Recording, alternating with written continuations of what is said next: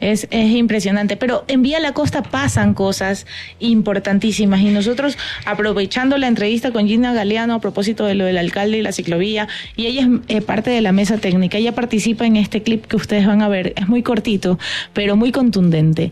¿Qué pasa allí? ¿Qué hace falta construir? Y esto, atención para el municipio, para la ATM, que ustedes están empezando esta administración.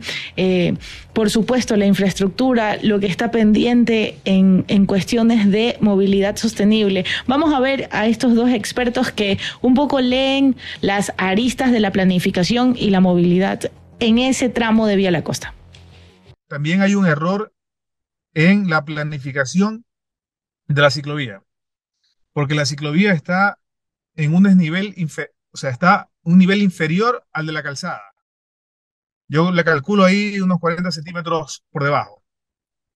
Y no tienes ningún elemento de protección, ni para el ciclista, ni para el peatón.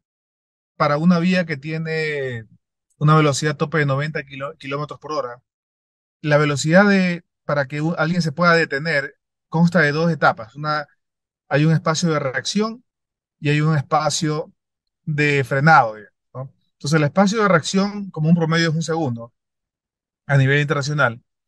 Y ese segundo, si alguien va, por decir, a 50 kilómetros por hora, ese segundo equivale a 13 metros de reacción, imagínate. Y por esa razón fue que en la planificación, el primer criterio que utilicé fue ubicar un desnivel, poner un nivel superior al de la calzada. En el diseño, en, el delta, incluí también las barandas. La otra es, obviamente, la iluminación es también iluminación. eso, es por, eso es con respecto al tema de seguridad.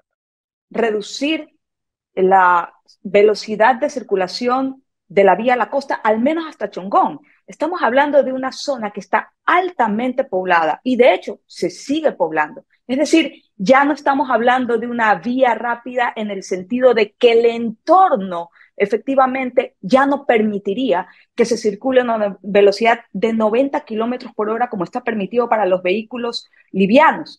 Allí tienes permanentemente peatones todos los días, a toda hora, tratando de cruzar la vía, eh, sobre todo para personas que trabajan en todas las ciudadelas o en todo ese entorno urbano que ya existe en Vía la Costa. Hay muchos comercios, hay ciudadelas donde hay hogares y todos los días trabajadores tratan de, ir allá.